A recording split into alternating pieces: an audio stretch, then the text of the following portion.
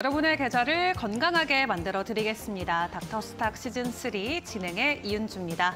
저희는 평일 오후 2시 여러분과 함께하고 있습니다. 오전장의 시장 분위기와 특징주, 또 전문가님의 비법이 담긴 공략주와 여러분들의 종목 상담까지 저희가 생방송을 통해서 모두 함께하고 있는데요. 네이버나 유튜브를 통해서도 저희 방송 실시간으로 함께 해보실 수 있겠습니다. 일단 종목 상담 먼저 안내해 드리도록 하겠습니다. 유료 문자 샵 3772번으로 여러분들 고민되시는 종목명과 매수가 그리고 비중을 짧은 사연과 함께 문자로 접수해 주시면 은 저희가 방송을 통해서 여러분께 전략을 함께 세워 드리도록 하겠고요.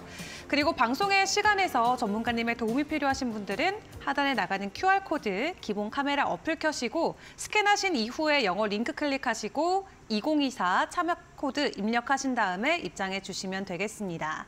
장전에 미리 종목을 받아볼 수 있는 리스트도 저희가 선물로 준비를 해놨고요. 그리고 매주 목요일에 진행되는 온라인 강연에 대한 링크 또한 노란톡방 입장해 보시면 확인해 보실 수 있겠습니다. 자, 그럼 오늘 시장 또 속 시원하게 진단 내려주실 전문가님 어떤 분과 함께 할까요? 화면 통해서 바로 확인해 보시죠.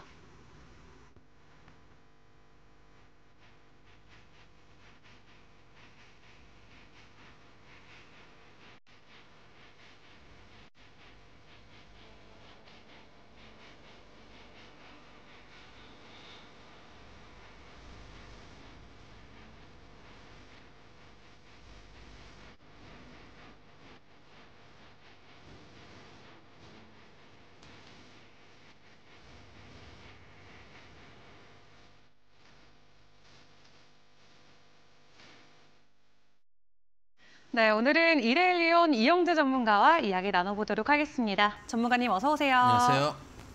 네, 반갑습니다. 일단 오전장 시장 분위기 저와 함께 짧게 확인하고 전문가님의 의견도 들어보도록 할 텐데요.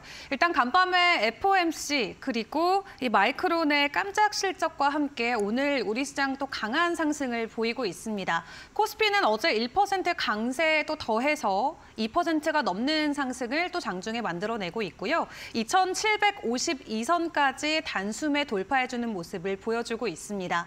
그리고 코스닥 같은 경우도 오늘도 1%가 넘는 상승폭을 키워내면서 900선 위에까지 우뚝 올라선 모습이고요.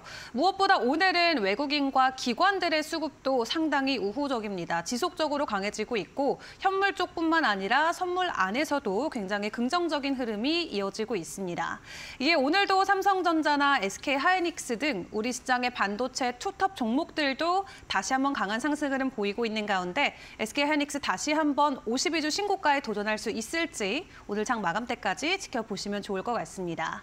또 그 안에서 오늘 간만에 통신주의 흐름도 굉장히 좋습니다. 이 AI와 함께 다시 한번 부각받을 수 있다. 앞으로의 실적이나 모멘텀이 기대가 된다라는 업계 평가와 함께 오늘 관련주들이 또 장 초반부터 강한 상승을 보여주고 있는데요. KMW 같은 경우는 20% 가까운 상승 흐름 만들어내면서 15,120원 선 지나고 있고요. 인포마크나 에이스테크, 라이트론 여러 가지 종목들이 빨간 불을 켜주고 있습니다. 자, 그럼 오늘 전문가님께서는 오전장 분위기 굉장히 좋은 것 같은데 어떻게 평가하실지 의견 들어보도록 하겠습니다. 자, 전문가님 오늘 오전장 한 줄 평가로 해주시면 어떤 표현이 좋을까요? 일단 중요한 지지 저항 라인이었던 2,700선을 갭으로 네. 뚫어냈다라는 어. 것 자체가 상당히 의미가 있다는 말씀을 드리고 싶습니다. 제가 항상 네. 말씀드리지만 2,700선을 돌파하고 나면은 의외로 생각보다 쉽게 3,000선까지도 볼 수 있다라는 생각을 여러분들께 여러 번 말씀드렸습니다. 일단 어제 FOMC 얘기를 안 드릴 수는 없습니다. 미국 연준에서 올해 기준금리를 세 차례 내릴 것이라는 기존 전망을 유지했습니다. 사실 올해 초만 해도 시장에서 어, 회드와치를 보면은 올해 금리 인하 6번에서 7번 정도도 가능하지 않을까라는 이야기들이 있었습니다. 그때도 제가 여러분들께 말씀드렸던 게 가장 좋은 거는 두 차례에서 세 차례 정도 금리 인하가 좋다. 왜 그러냐면은 여섯 번에서 일곱 번 정도의 금리 인하가 나온다는 얘기는 미국 경기에 쇼크가 있다는 얘기일 수도 있기 때문에 반드시 금리 인하가 꼭 좋은 것만은 아니다라는 말씀을 여러 번 드렸습니다. 그리고 연준에서도 어, 두 차례에서 세 차례 얘기하다가 어, 지금 이제 세 차례 컨센서스에서 유지하면서 점도표에서도 세 차례 정도의 금리 인하를 예상하고 있다라는 말, 어, 이야기가 전해지면서 어, 어제 FOMC 발표 이전까지만 해도 지지부진하던 미국 시장이 발표 이후에 급등을 하는 모습을 보여줬습니다. 세차이 정도면 가장 양호한 정도, 이상적인 정도의 금리 인하라고 보고 있고 어, 당부 어, 어, 어떻게 보면은 지금 당, 어, 최근에 이제 CPI도 조금 시장 예측치보다 높게 나왔고 PPI도 높게 나오면서 어, 그래서 금리 인하에 대한 속도가 어, 느려지는 게 아닌가라는 시장의 불시, 어, 우려를 불식시키는 모습들을 좀 보여주면서 어, 어제 미국 시장 강한 상승을 보여줬습니다. 음, 거기다가 이제 일단은 금리는 동결을 했는데 어, 다음 이제 한 6월쯤에는 금리를 어, 인하하지 않을까라는 기대가 많이 또 시장에 남아 있기 때문에 어, 거기에 거기에 따라서 우리 시장도 강한 모습들을 보여주고 있습니다. 특히 삼성전자가 어제에 이어서 오늘도 강세를 보여주고 있습니다. 장중에는 잠깐 밑에 꼬리가 좀 나오긴 했었는데 어, 다시 어, 하락했다 좀 이제 음봉이 나왔다가 밑에 꼬리를 내면서 다시 어, 시장을 들어 올려주는 모습입니다. 제가 이제 이번 주 화요일 날도 말씀드렸지만은 value 프로그램에 대해서 우리 시장이 어, 상당한 기대감을 갖고 있었습니다. 많은 연기금이 어, 어떻게 보면은 주주가치 제고에 대한 어, 우리 주주들의 어, 기대를 충족시키지 못하고 오히려 기업의 손을 들어주는 모습들을 보여주고 있는 만큼 value 프로그램과 관련된 종목들은 오히려 어, 큰 재미가 없는 상황이고 그때 이제 화요일에 말씀드렸던 게 그렇기 때문에 오히려 어, 우리는 성장주를 봐야 될 수도 있다는 말씀을 드렸습니다. 그러다 보니까 오늘 뭐 제약바이오 쪽도 괜찮고 어, 뭐 반도체 특히 반도체가 오늘 강세를 어, 강하게 보여주고 있습니다. 특히 삼성전자 같은 경우 또 하이닉스도 마찬가지입니다. 어, 젠스낭의 젠스낭의 이제 멘트들도 어, 긍정적인 모습들을 보여주고 있는데 한국은 세계에서 가장 선진적인 메모리 생산국이다라는 이야기들과 함께 삼성전자와 하이닉스는 엄청난 성장 사이클을 맞이하게 될 것이다라는 이야기들도 젠슨 황이 음, 엔비디아 개발자 컨퍼런스 GTC 2024에서 간담회를 가지면서 이야기를 했습니다. 어, HBM 고대형 메, 고대역폭 메모리라고 하죠. 기, 술 기적이다라는 표현까지 쓰면서 어, HBM 여러분 잘 아시다시피 DRAM을 수직으로 연결해서 데이터 처리 속도를 획기적으로 높인 메모리인데 어, AI 반도체가 어, 발달만 발달함에 따라서 어, 삼성전자나 SK 하이닉스에도 지속적인 수혜가 가, 어, 될 가능성이 높다라는 이야기들이 어, 전해지고 있습니다. 어, 특히 이제 삼성 HBM을 쓸 계획이 없는 거라는 질문이 있었는데 아직 쓰고 있지는 않지만 검증 단계에 있다고 밝혔습니다. 이 얘기는 뭐냐면 지금 당장은 쓰고 있지 않지만 향후 삼성전자의 어, 반도체들도 HBM을 쓸 수 있다는 여지를 열어놓으면서 어제 이어서 오늘도 삼성전자가 강한 흐름들을 보여주고 있습니다.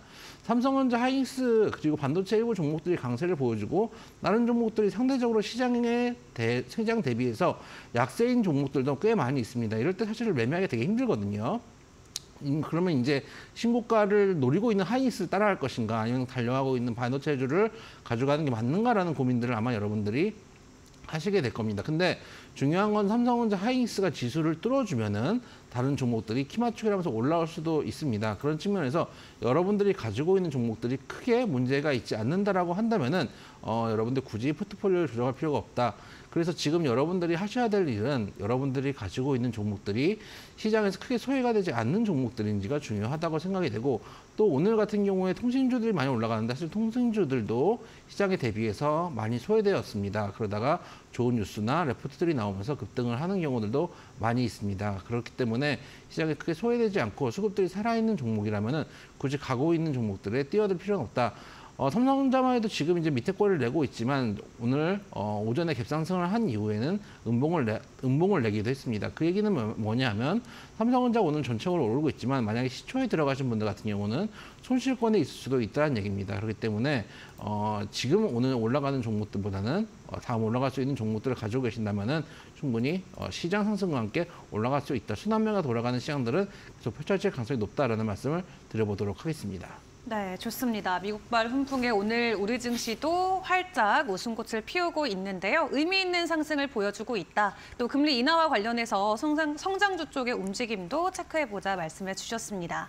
자, 이렇게 오전장에 대한 평가를 먼저 저희가 받아봤습니다. 하지만 조금 더 자세하게 시장 안에서 살펴볼 이슈와 종목들은 어떤 것들이 있을지도 이야기를 전해 듣도록 할 텐데요. 종목마다 확인을 해보도록 하겠습니다. 첫 번째로 어떤 종목 확인해 볼까요? 일단 삼성전자 얘기를 했으니까 어, 삼성전자를 고객사를 갖고 있는 회사 링크 제네시스를 좀 말씀을 드려보도록 하겠습니다. 어, 일단 삼성전자의 어, 훈풍이 좀 불다 보니까 삼성전자를 고객사로 가지고 있는 회사들도 어, 덩달아 이제 상승을 해주는 모습이었습니다. 링크 제네시스 같은 경우는 어, 세, 생산 정보 자동화 사업 그리고 시스템 검증 자동화 사업을 하고 있는 회사입니다. 근데 이 종목이 딱 보면은 아까 이제 제가 말씀드렸던 가는 종목이 따라가면 안 된다는 것들을 여실하게 보여주는 모습입니다.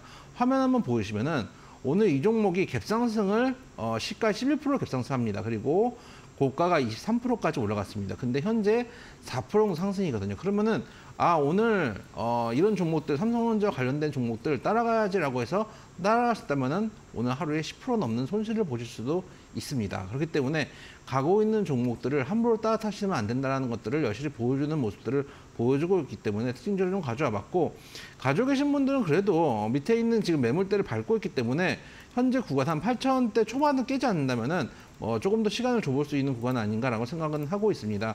굳이 그렇다고 해서 이 종목을 따라탈 종목은 아니다. 왜냐하면 거래량이 터지는 음봉이 나와 있는데 굳이 떨어지는 칼날을 잡을 필요는 없겠지만 이미 가지고 조금 물리신 분들 같은 경우는 현재 8천원대 초반에 매물대가 두꺼운 만큼 이 자리가 지지가 되고 양봉이 나오는지 확인을 해보시면서 조금 더 시간을 주셔도 큰 무리는 없다는 말씀 드려보도록 하겠습니다. 네, 좋습니다. 오늘 장 첫 번째 특징주로 저희 링크 제네시스 먼저 확인해 봤습니다. 삼성전자의 주요 고객사인데 현재 구간에서 신규 진입하시는 분들이 굳이 따라탈 필요는 없지만 기존에 보유하신 분들은 8,000원 초반에서 지지가 잘 나오는지 확인하시면서 전략을 세우는 게 좋겠다라고 말씀해 주셨습니다.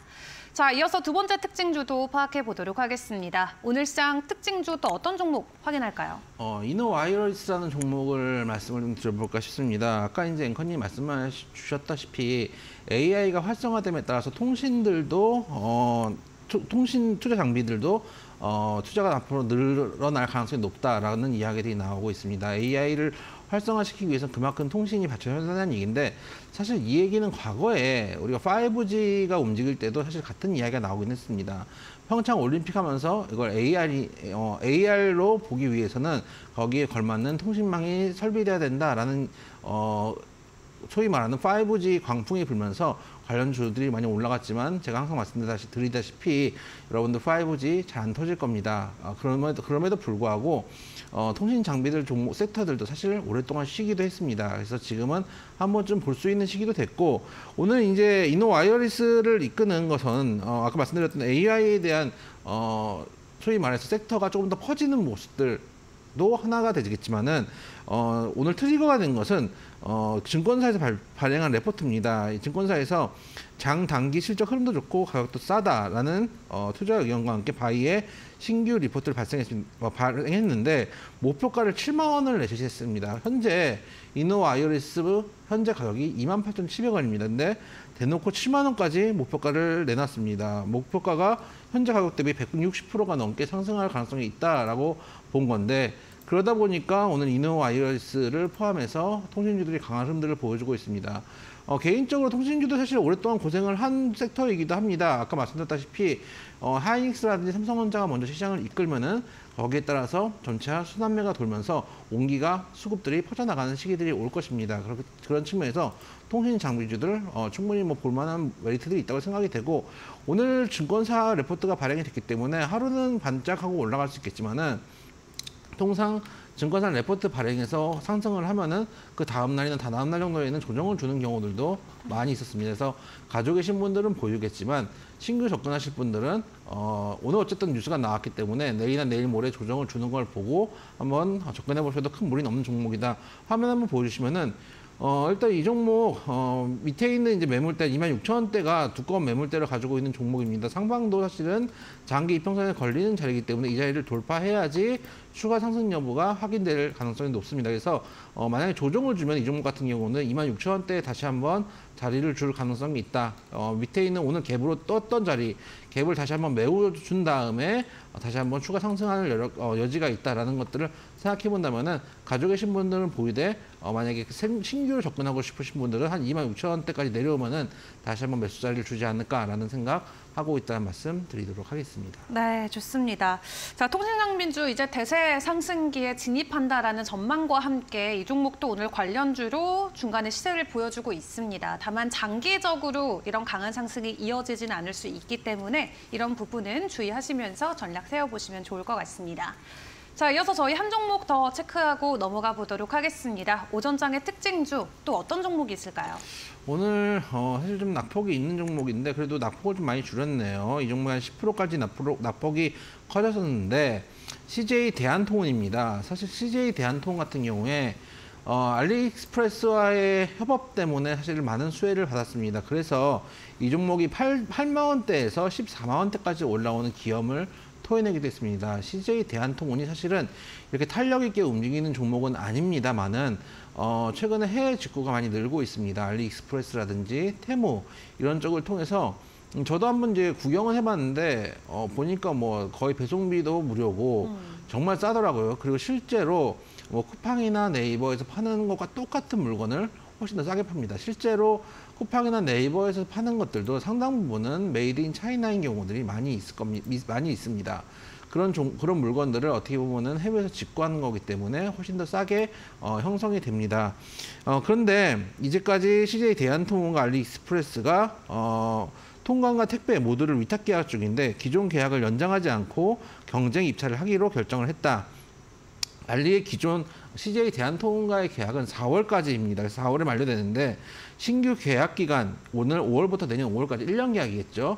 이 신규 계약 같은 경우는 경쟁 입찰로 진행하겠다라는 이야기가 나왔습니다. 물론 어, 경쟁 입찰을 새로 새로 진행했는데 CJ 대한통운이 또다시 입찰에 성공할 가능성들도 있겠죠. 근데 그 전까지는 불확실성이 펼쳐질 수밖에 없다는 것도 생각해 볼 필요가 있습니다. 그리고 알리익스프레스의 어, 수혜 때문에 주가가 아까 말씀드렸다시피 8만 원대에서 14만 원대까지 올라왔다가 지금은 조정을 주고 한 12만 원 가까이 형성되어 있는 구간입니다. 그렇기 때문에 어, 아마 어, 다시 한번 이제 재계약이 되는 걸 확인하고 나서 재접근을 해보시는 게 낫지 않는가라고 생각이 되고 어쨌든 간 많이 올라오고 지금은 하락 국면에 있는 종목입니다. 그래서 어, 수익 보신 분들 같은 경우는 지금 좀 차익 실현을 하셔도 큰 무리는 없겠다라는 생각이 듭니다.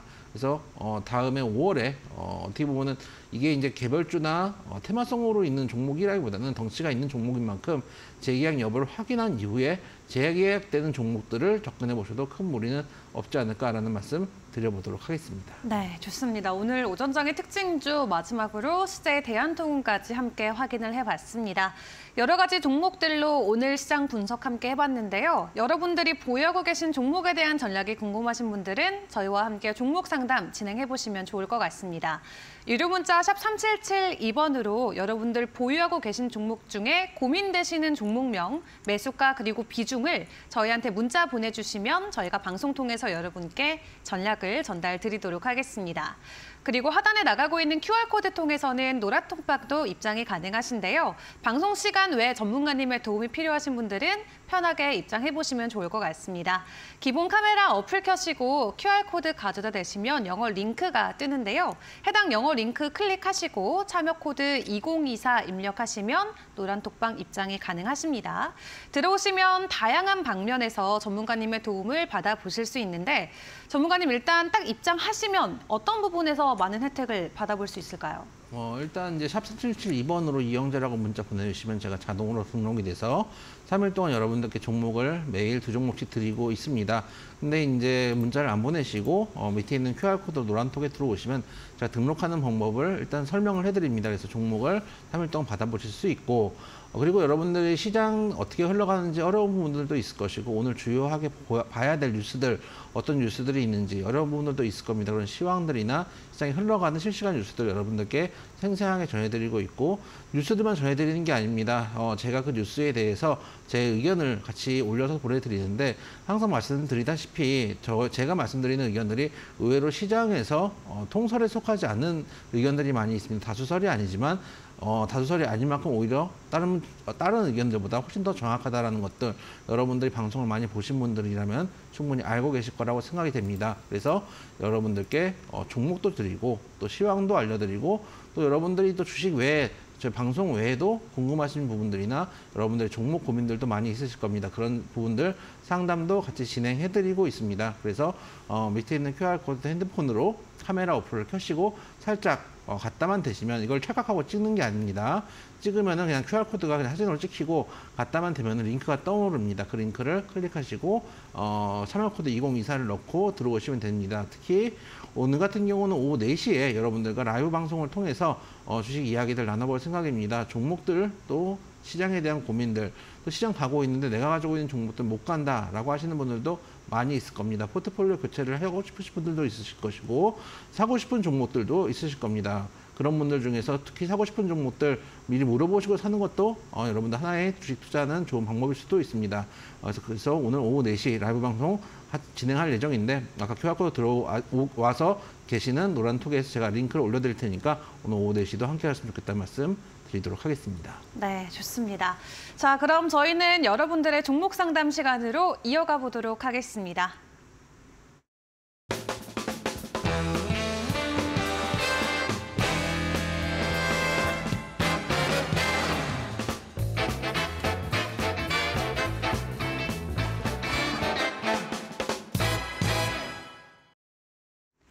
네, 여러분들의 종목 고민을 속 시원하게 해결해 드리는 종목 상담 시간입니다. 다시 한번 참여 방법 안내해 드리겠습니다. 유료 문자 샵 3772번으로 여러분들 고민되시는 종목명과 매수가 그리고 비중을 적어서 보내주시면 저희가 생방송을 통해서 여러분께 솔루션을 제시해 드리도록 하겠습니다. 자, 그럼 첫 번째 들어온 종목부터 문자부터 바로 확인을 해보도록 하겠습니다. 오늘 첫 번째 종목으로는 에브리봇이 고민으로 들어와 있는데요. 매수가는 4만 원, 비중은 20%라고 하십니다. 어, 지금 사자마자 추락해서 마음고생이 너무 심했던 종목인데 어떻게 대응하면 좋을까요? 라고 연락을 주셨어요. 어, 사실 올해 되고 나서 2월 23일 정도에 고점을 찍었었죠. 그동안 350%의 엄청나게 큰 상승을 보여주다가 6거래일 만에 가격이 반토막이 났습니다. 갑작스럽게도 이렇게 등락을 오가면서 투자자분들께서는 굉장히 혼란스러우셨을 것 같은데 지금 시청자님께서도 올라가는 그 가운데 잡으셨던 것 같아요. 이렇게 지금 고점에 조금 매수가를 보유하고 계신 분들은 어떤 전략이 필요할까요? 만약에 4만 원이었다면은 글쎄 애매한 가격이기 때문에 통상은 이런 경우에는 위에 돌파해서 5만 원대 어간을 샀다가 물타기를 하신 경우들도 분명히 있으실 것 같아요. 어, 항상 말씀드리지만 많이 올라간 종목은 떨어질 때 급하게 빠질 수도 있습니다. 급등주를 할때 어, 여러분들이 실시간으로 주식을 대응하실 수 있는 분들, 또 저처럼 하루 종일 주식을 보시는, 볼 수 있는 사람이 아니라면은, 어, 당연히 급등주들을 노리는 걸 그렇게 선호해드리지, 선호하지 않고, 또 제가 여러분들에게 추천드리는 종목들 대부분 바닥권에서 돌리는 종목들 위주로 말씀드리는 것도 사실 여러분들이 방송을 보거나 또는 어, 일을 하지 않고 이제 하루 종일 주식을 보실 수 있는 분들이 아닌 경우들이 많기 때문입니다. 그래서 어, 이런 종목들도 어쨌든 간 급등을 했다가 지금 급락을 했는데 다행인 거는 61선 인근에서는 그래도 지지가 나오고 있는 상황이다. 그리고 로봇 관련된 섹터들 같은 경우는 향후 어, 성장 모멘텀들은 충분하다고 생각이 되고 여러분들께 저도 두산 로보틱스를 말씀드리고 그 종목도 벌써 한 10% 정도 수익권에 있다고 생각, 어, 수익권에 있는데 어떤 종목이든 어떤 섹터든 좋은 종목과 좋은 섹터를 고르는 것도 중요하지만 항상 말씀드리는 것처럼 좋은 자리, 어떤 자리에 들어가는 게 정말 중요하다라는 말씀을 좀 드리고 싶습니다. 에브리고 같은 경우 화면 한번 보시면은 어, 근데 그래도 61선 어간에서는 지지가 나오는 상황이고 전에 떨어질 때 워낙에 급하게 떨어졌기 때문에 아마 대반응 정도는 한 번 줄 수 있지 않을까 생각을 하고 있습니다. 그래서 로봇 섹터들 이번에 이제 어, 두산 로보틱스 올라오면서 같이 올라갈 수 있는 어, 충분한 이제 여력들은 있다고 생각이 됩니다. 오히려 지금 같은 경우는 61선 정도 한 2만 4천 정도를 손절가로 잡고 접근해 보셔도 큰 무리는 없는 종목이지 않을까. 이런 종목들이 급하게 빠진 다음에 한 번 정도는 어, 횡보 이후에 이 갭을 떨어질 때 만들었던 이 갭 정도는 채우는 경우들이 많이 있거든요. 그 자리가 한 4만 원 정도 구간까지 열려 있기 때문에 어, 횡보 이후에 한 4만 원까지는 뭐, 어, 노려보고 한번 접근해 보셔도 접근해 볼수 있는 종목이 아닌가라는 생각을 하고 있습니다. 그래서 지금은 보유를 하시되 아까 말씀드렸던 이 61선이 깨지면 안 되겠죠. 손절가 2만 4천 정도 잡으시고 목표가 4만 원 정도 잡으신 이후에 지금은 조금 더 추이를 보셨으면 좋겠다. 그래도 섹터 자체는 나쁜 섹터는 아니고 제가 이제 뭐 화요일에도 말씀드렸고 오늘도 말씀드렸다시피 밸류업이 사실은 어, 실질적으로는 쉽지 않은 상황이 되었습니다. 그러다 보니까 이제 수급이 성장주 위주로 어, 밀릴 가능성이 높습니다. 반도체주들도 강세를 보여주는 것도 역시 마찬가지 성장주의 어, 시장에 관심이 높다는 이야기이기도 합니다. 그런 측면에서 이 종목 좀 더 시간을 주셔도 무리한 무방, 무방 한 종목이다라는 말씀 드리도록 하겠습니다. 네, 좋습니다. 일단 급락 이후에 횡보를 하면서 힘을 모아가고 있는 자리입니다. 그렇기 때문에 매수가까지는 일단 조금 더 시간을 두고 기다려보자 말씀해 주셨는데요. 그럼에도 2만 4천 원 부근에서 지지가 되지 않는다라고 했을 때는 또 추가적인 전략이 필요할 것 같습니다. 자, 이렇게 첫 번째 종목 고민 먼저 확인을 해봤습니다. 이어서 두 번째 고민도 바로 진행을 해보도록 할 텐데 두 번째 종목으로는 CJ가 들어와 있고요. 매수가는 10만 원, 비중은 15%라고 하십니다. 조금 더 보유를 하고 싶은데 그래도 될까요? 또 목표가는 어느 정도로 잡아야 될까요? 라고 연락을 주셨어요. 일단 오늘 추가적으로 상승이 나오면서 지금 수익권에 들어가 계시네요. 축하드립니다. 오늘 52주 신고가를 달성을 했는데 어, 저 PBR 관련해서 올랐다라기보다도 좀 더 다른 이슈들이 있는 것처럼 보이긴 하거든요. 일각에서는 올리브영 상장과 관련해서 기대감이 주가에 반영되는 거 아닌가라는 의견도 있는 것 같아요. 이 종목의 목표가 어디까지 볼까요? 어, 올리브영 매출이 지금 상당히 잘 나오고 있다는 얘기가 있습니다. 그래서 작년도 매출이 올리브영 작년 매출 한 4조 원에 육박한다는 이야기들도 전해지고 있습니다. 그만큼 어, 사실 옛날에 로드샵 하면은 뭐 미샤라든지 이런 이제 로드샵들이 많았는데 그런 로드샵들이 많이 보이지 않고 올리브영이 이제 통합해가지고 여러 가지 화장품들을 팔고 있는 어, 것들 또 화장품뿐만 아니라 생활에서 필요한 이제 필수품들 같은 경우들을 많이 이제 판매를 하고 있는데 그러다 보니까 올리브영이 그런 이제 로드샵들을 대체하고 있는 상황들이 CJ 주가를 이끌어주는 모습입니다. 거기다 오늘 어, 오늘 양봉 상당히 중요하다고 보는데 화면 한번 보시면은 전고점이었던 자리가 11만 원 정도 구간이었습니다. 근데 그 자리를 오늘 양봉으로 돌파해주는 흐름입니다. 제가 뭐 자주 말씀드리는 거지만 신고가 종목은 쉽게 버리면 안 됩니다. 신저가 종목은 빠르게 던져야 되는데 이 종목 어쨌든 신고가 행진을 하고 있는 종목이기 때문에 추가적인 상승 지켜보셔도 된다 말씀드리고 싶고 다음 이제 목표가를 잡는다면은 어, 쭉 차트를 내려봤을 때 어, 전에 지지를 줬던 자리가 깨지고 내렸던 자리 지금은 저항으로 역할을 할 수 있는 그 자리가 한 15만 원 정도 구간입니다. 그래서 15만 원 정도를 1차 목표가로 잡고 보셔도 큰 무리는 없는 종목이다. 그리고 제가 말씀드렸다시피 2,700을 지금 강하게 돌파했기 때문에 물론 이제 흔들림은 있겠지만은 뭐 오늘 올라고 내일 오르고 매일처럼 매일같이 올라갔으면 좋겠다라는 생각은 있지만 그렇지 않다고 하더라도 방향성은 3천을 향해 갈 가능성이 높습니다. 그렇다면은 CJ 정도의 어, 대형주라면은 지수 흐름과 같이 연동돼서 움직일 가능성이 높다라는 측면 생각해 볼 필요가 있을 겁니다. 그런 측면에서 봤을 때 15만 원 목표가 놓고 지금은 보유할 때다라는 말씀 드려보도록 하겠습니다. 네, 좋습니다. 15만 원으로 목표가 설정해 주셨습니다. 자, 이렇게 여러분들의 종목 고민 저희가 함께 한 분 한 분 만나보고 있습니다. 아직 사연 신청 안 하신 분들은 유료 문자 샵 3772번으로 여러분들 고민되시는 종목명과 매수가 비중을 적어서 보내주시면 되겠습니다. 그리고 하단에 나가고 있는 QR코드 통해서 여러분들 노란톡방도 편하게 입장 가능하십니다. 시장에 대한 공부가 필요하신 분들이나 전문가님께 앞서 받았던 공략주와 관련해서 궁금한 게 있으신 분들은 편하게 입장해보시면 좋을 것 같은데요. 이 외에도 전문가님께서 새로 들어오시는 분들에게는 3일 동안 종목들을 미리 받아볼 수 있도록 도와주시고 계십니다. 매일 오전에 장 출발 전에 미리 주시는 거죠? 예, 장 전에 보내드리고 있고 어, 여러분들 저희 제가 방송에서도 좋은 종목들 많이 드립니다만은 사실은 이제 모든 종목이 여러분들 마음에 들 수 없을 수 있습니다. 후보군들이 많이 있었으면 좋겠죠. 근데 사실 주, 어, 우리 시장에 2,500개가 넘는 종목들이 있습니다. 그 중에서 저희도 말씀드렸던 것처럼 좋은 종목을 고르는 것도 중요하지만 안 좋은 종목들도 제외하고 그 다음에 남은 종목들에서 좋은 타점을 고르는 것이 상당히 중요합니다. 그래서 여러분께 좋은 타점을 가지고 있는 종목들을 보내드리고 있습니다. 그래서 어, 밑에 있는 QR코드 찍고 들어오시면은 종목들도 받을 수 있고 시황도 보실 수 있고 또 항상 뉴스에 제가 어, 또 시황이나 뉴스에 제가 해석을 달아드립니다. 어, 여러분들이 실제 방송에서 보지 못하는 해석들 그리고 어, 방송에서 말씀드리지 못하는 것들을 많이 말씀을 드립니다. value 프로그램에 대해서도 사실은 제가 화요일 날 말씀드리기 이전부터 value 프로그램이 잘못된 방향으로 가고 있다는 거 어, 저희 노란톡에 많이 여러 번 말씀을 드렸는데 그게 삼성물산의 급락으로도 한번 어, 시장에 반영이 되는 것들 여러분들이 보셨을 겁니다. 그래서 그런 것들 어, 시장에 대한 궁금증들 해소시켜드리고 있으니까 밑에 있는 큐아를 찍고 어, 외로운 시장입니다. 함께 하셔가지고 멀리 가셨으면 좋겠다는 말씀 드리도록 하겠습니다. 네, 좋습니다. 방송 안에서 다 다루지 못하는 내용들 여러분들 노란톡방 입장하셔서 추가적인 정보와 자료 챙겨보시면 좋을 것 같습니다. 자, 그럼 계속해서 여러분들의 종목 고민 이어가 보도록 할 텐데 할 텐데요. 다음 종목도 확인을 해 보도록 하겠습니다. 자, 이어지는 다음 종목은 아난티 들어와 있고요. 매수가는 7,000원, 비중은 15%라고 하십니다.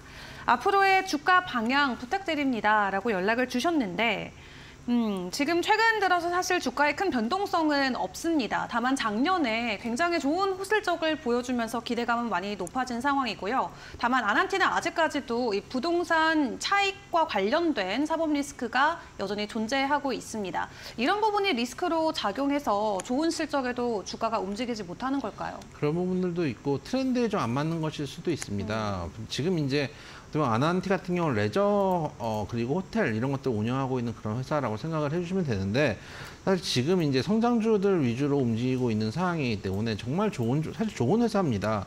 실적도 잘 나오고 있고 정말 저 PBR인 종목입니다. 현재 이 종목이 어, PBR 0.89, 1도 안 되는 상황이기 때문에 사실 거저입니다. 어, 중장기적으로 만약에 이 종목을 가져가시고 또 관심이 있으신 분들이라면은 나 이 종목 들고 어, 내년까지 들고 갈 수 있겠다라고 하시는 분들은 지금 접근하셔서 사실은 큰 무리는 없겠다라는 생각은 합니다. 왜냐 이런 종목들은 통상 언제 움직이냐면 여름에 이제 성수기 좀 되면 관심이 높아질 수도 있습니다. 특히 작년에도 한번 급등했던 자리가 작년 8월 정도에 한번 급등을 한 바가 있기 때문에 여행이 좀 는다라고 하거나 또는 또 어, 우리 관광객들 많이 들어온다라고 했을 때 한 번 정도 관심을 받을 수 있는 종목이기도 합니다. 그리고 실적도 분명히 잘 나오는 종목이기도 합니다. 다만 아까 말씀드렸다시피 지금은 저벨 저 PBR 종목들, 저밸류 종목들이 어, 시장에서 관심을 받는 시기가 어떻게 보면 지나갔습니다. 정부 정책에 대한 실망감들에 대해서는 제가 여러 번 말씀을 드렸기 때문에 또다시 말씀드리진 않겠습니다. 성장주 위주로 지금 관심들을 모아주고 있기 때문에 트렌드에 조금 벗어나고 있지만 삼성전자나 하이닉스가 시장을 끌어올리게 된다면 어느 순간부터는 못 간 종목들에 대해서 관심을 기울일 때가 됩니다. 글로벌 시장에서 지금 어, 미국 시장 그리고 일본 시장, 유럽 시장 전부 다 신고가를 찍고 있기 때문에 오히려 우리 시장 도 관심을 가져야 된다는 말씀을 드렸습니다. 글로벌 시장을 하나의 시장이라고 본다면은 잘 가고 있는 신적 신고가 있는 종목들을 가지고 가시는 것들도 중요하겠지만은 아직 못 산 종목들 만약에 신규로 접근한다고 한다면은 전 세계 시장 중에서 가장 못 간 우리 시장에 수급이 들어올 수도 있다라는 말씀도 여러 번 드렸고 실제로 수급이 들어오고 있고 외국인 수급으로 지금 어, 2,700선을 돌파하고 있는 흐름입니다. 그런 측면들을 생각한다면은 어, 2,700을 돌파하고 시장에 순환매가 돌 때 이런 종목들 한번도 다시 한번 수급이 들어올 여지는 충분히 있다. 실적 좋은 종목인 만큼 조금 더 시간을 줘, 줘보자. 중장기적인 투자로는 충분히 메리트가 있다. 다만 아까 말씀드렸던 것처럼 지금 시, 어, 시장 트렌드가 성장주기 때문에 어, 시간이 다소 걸릴 수 있다는 건 단점이 어, 단점이다라는 말씀도 드려보도록 하겠습니다. 네, 좋습니다. 종목은 좋다라고 말씀해 주셨는데요. 다만 아직 시장이 집중하기에는 시기가 오지 않았기 때문에 가능하시다면 조금 더 중장기적인 관점으로 종목에 대한 전략을 세워 가시는 것도 좋을 것 같습니다. 자, 이어서 다음 종목도 또 만나보도록 하겠습니다. 이어지는 다음 종목 고민은 에이징랜드가 들어와 있고요. 매수가는 6만 9천 원, 비중은 30%라고 하십니다.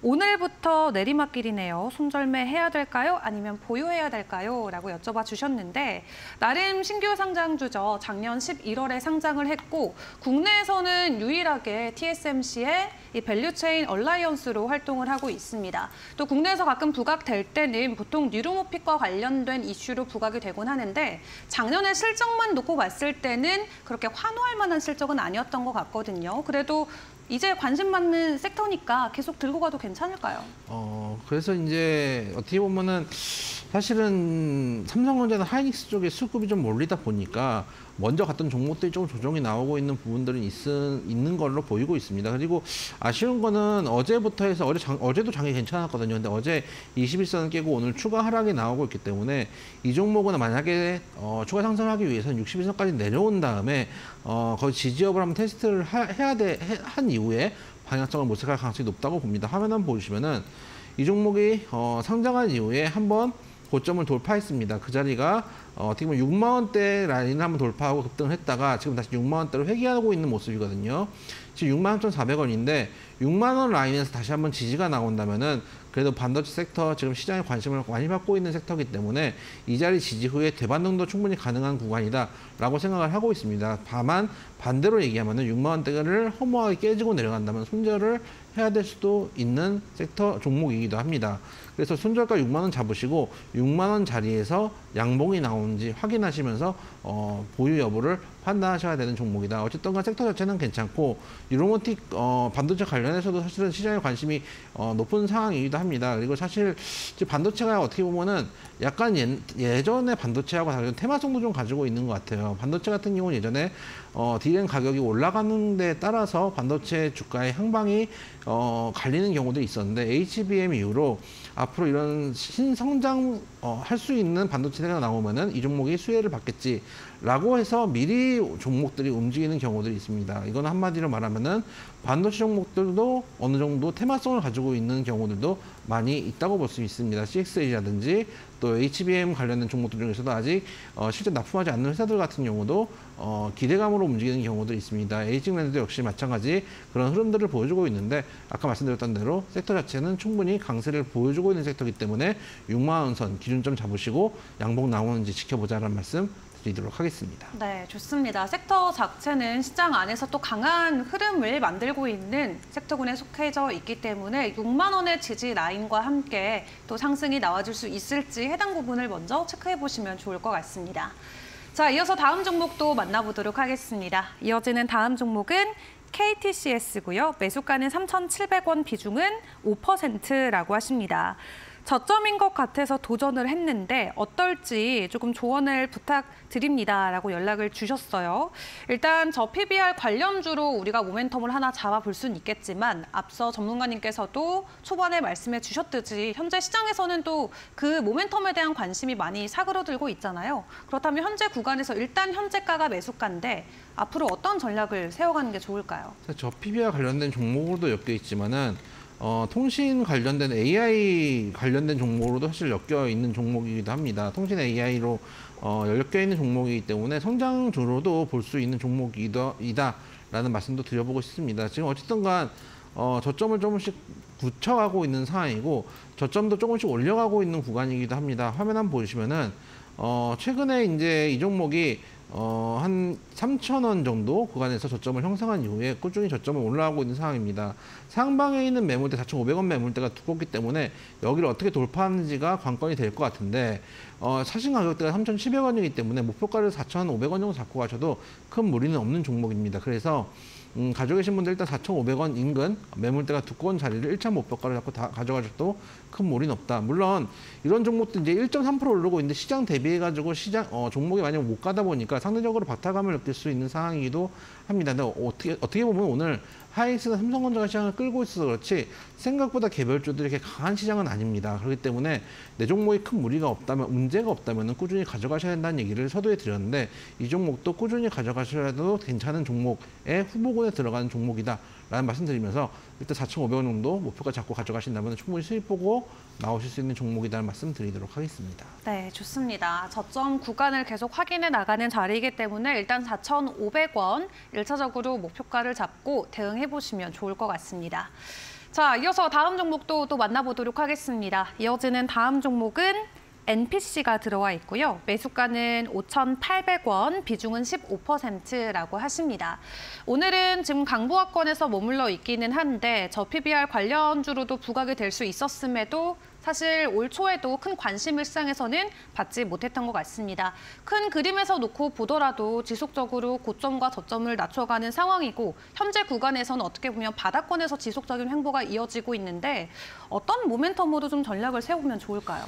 사실 이 종목이 어, 어떻게 보면 지금 시장에 관심을 참 못 받고 있는 종목이기도 합니다. 저 PBR 종목이기도 하죠. 0.6배밖에 안 되는 종목이고 어, 한 종목인데 지금 어떻게 보면 지금 반야 어, 거래량도 좀 많이 안 나오고 있거든요. 오늘 거래량이 많이 나왔어. 전일 대비해 가지고 거래량이 200%가 넘게 터지고 있는데 5만 주입니다.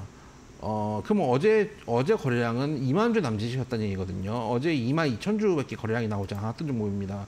이 종목이 한, 한 주에 10만 원씩 하는 종목도 아니거든요. 4,900원짜리 종목이 이 정도 거래량밖에 안 나온다는 얘기는 소위 말해서 개인 투자자들만 그냥 매, 어, 매매를 하고 있을 가능성이 높다라고 볼 수 있습니다. 다만 아까 말씀드렸다시피 이 종목 어, 실적이 나쁜 것도 아니고 그리고 주가도 사실은 저, 저평가돼 있는 구간에 있습니다.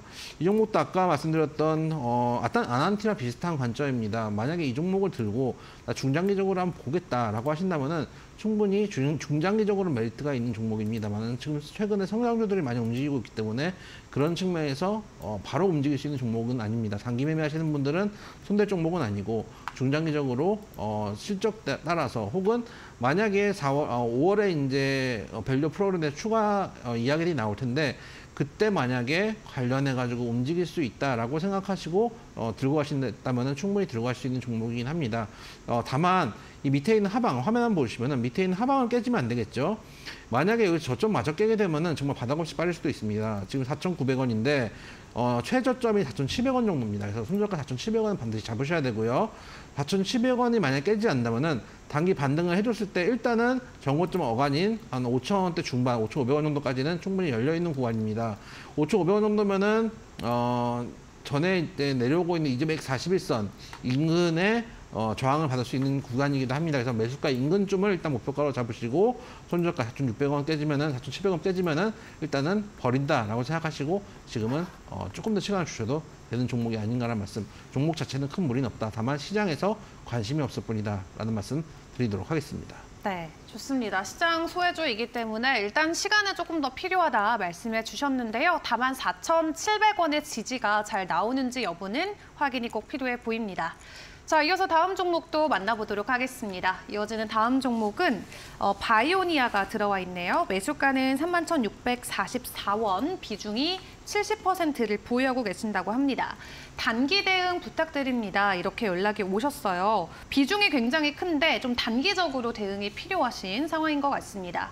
뭐 탈모 완화제와 관련된 제품들을 만들고 있는 기업인데 70%의 비중으로 단기적인 전략을 세운다면은 어떤 방법이 가장 좋을까요? 네, 최근 뉴스도 있었죠. 급등했을 때 쿠웨이트에서 탈모 완화 화장품 코스메르나를 독점 공급하는 계약을 체결했다라는 단기 이슈가 있은 이후에 급등했다가 지금 눌림을 주고 있는 상황입니다. 사실은 지금 자리가 나쁜 자리는 아니라고 봅니다. 지금 어, 매수가를 보니까 물도까지 타신 것 같은데 아마 가는 급등했던 자리 3만 2천 정도에 아마 매수를 하셨다가 지금 자리 한 3만 원 정도에서 추가 매수를 하신 게 아닌가라는 생각은 하고 있습니다.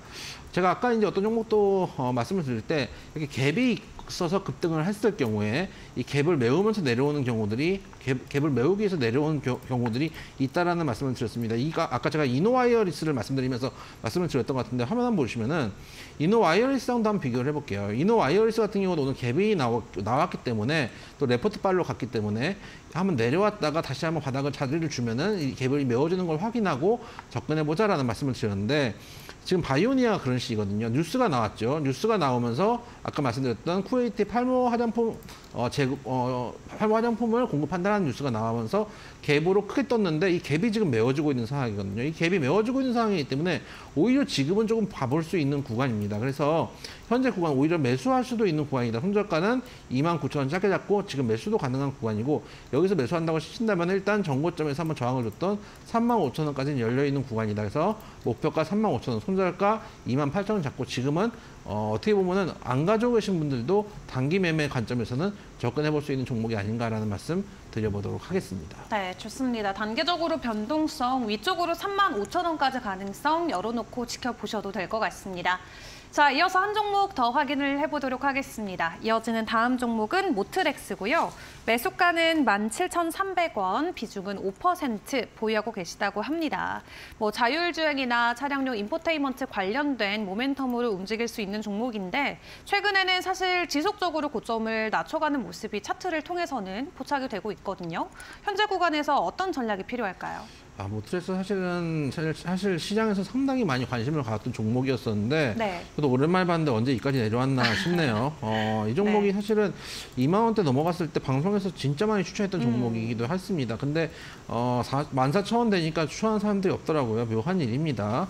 어, 항상 말씀드리지만 방송에서 너무 많이 나오거나 급등하고 있는데 사락을 했던 그런 방송들 같은 경우 여러분들 항상 말씀드리지만 피해야 됩니다. 음. 근데 지금 모트렉스가 지금 자리는 어떻게 보면은 어, 볼만한 자리인 게 지금 당장 자율주행차에 대한 모멘텀들이 많이 어, 식어가고 있는 상황입니다. 전기차도 어떻게 보면 판매가 줄어들고 있는 상황이기 때문에 그런 측면을 보면은 자율주행도 사실은 빠르게 발전한 것 같았지만은 지금 완전 자율주행까지 거리가 많이 남아 있는 상황입니다. 그렇기 때문에 오트릭스 같은 관련주들이 조금 힘을 못 쓰고 있는 상황인데 성장주들이 순환매를 돌면서 다시 한번 이제 모멘텀이 들어올 수도 있는 섹터이기도 하고 화면 한번 보시면 전저점 인근에서는 지지를 주고 있는 상황입니다. 만약에 현재 구간이 깨지지 않는다면은 대반등을 주면은 정고점까지만 간다고 쳐도 18,000원이거든요.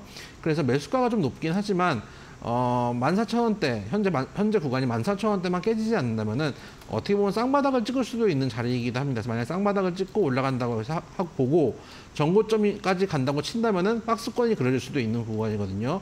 박스권 매매로만 봐도 18,000원까지 열려 있는 구간이기 때문에 손절가 지금 14,360원이니까 13,000, 어, 한 13,000원 정도 손절가 짧게 잡으시고 목표가 18,000원 잡으신 다음에 박스권 매매 형태로 한번 어, 지켜보셨으면 좋겠다는 말씀 드리도록 하겠습니다. 네, 좋습니다. 여기까지 오늘 종목 상담 함께 보도록 하겠습니다. 참고로 본 방송에서 제공하는 자료는 투자 정보에 대한 참고 자료일 뿐 해당 종목에 대한 상승과 하락을 보장하지 않는다는 점 꼭 유의해 주시면 감사하겠습니다. 그럼 저희는 공략주로 다시 돌아오겠습니다.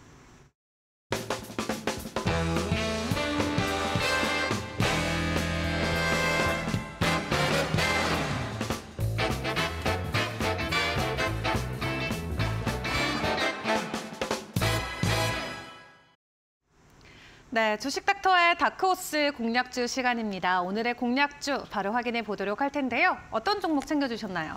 어, 최근에 제가 여러분들께 제약바이오 중에서 유한양행 말씀드려가지고 좋은 수익 내고 여러분들께 수익 인증담 드렸던 기억이 나는데 네. 그런 측면에서 오늘 제약바이오 하나 가져가 나와봤습니다. 그래서 에이비엘바이오를 좀 가져가 나와봤고 어, 최근에 overhang 이슈 완화 뉴스가 좀 있었습니다. 국내 최대 벤처 캐피탈 한국투자 파트너스가 어, 자사 주식 148만 주를 장내 매도 블록딜 하면서 오버행 이슈가 해소됐다라는 뉴스가 전했습니다. 지난 13일부터 5거래일에 걸쳐 가지고 진행이 됐고 어, 한국투자 파트너스가 보유한 ABL 바이오의 지분 380만 4,122주에서 232만 4,122주로 감소했습니다. 그래서 오버행 이슈가 문제가 됐던 ABL 바이오 오버행 이슈가 어느 정도 해소됐다라고 보시면 좋겠다라는 말씀 드려보고 또 이중항체, 어, 이중항암 항체 신약 추가 어, 신약이 추가 기술 이전도 기대되고 있는 상황입니다.